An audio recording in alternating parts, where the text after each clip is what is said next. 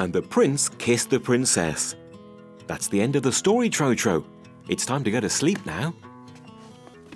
Stay with me a little bit longer, Daddy, please. What's the matter, Trotro? Don't you like sleeping in your bed? Yes, but I don't like being alone in it. You're not alone. Mwah. Teddy will sleep with you.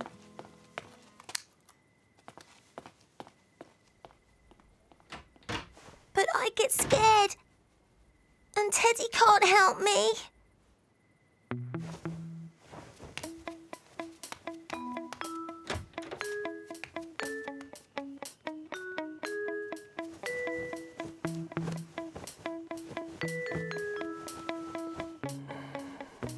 Mummy's feet are too hot, and Daddy snores all the time, but I still prefer it here. Hmm?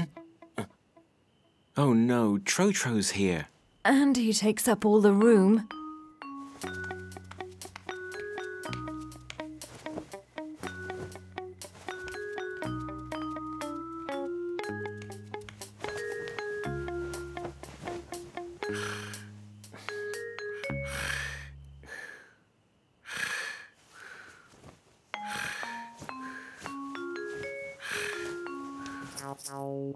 Oh no, he's here again.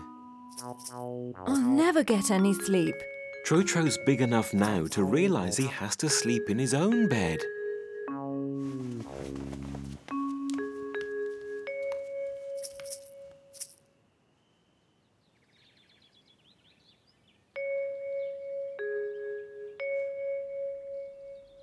Daddy? Mummy? Where are you?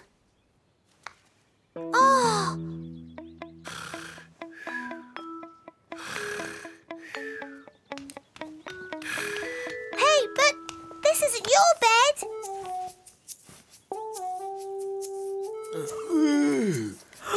oh, Unbelievable how well we slept. Come on out of there, you two.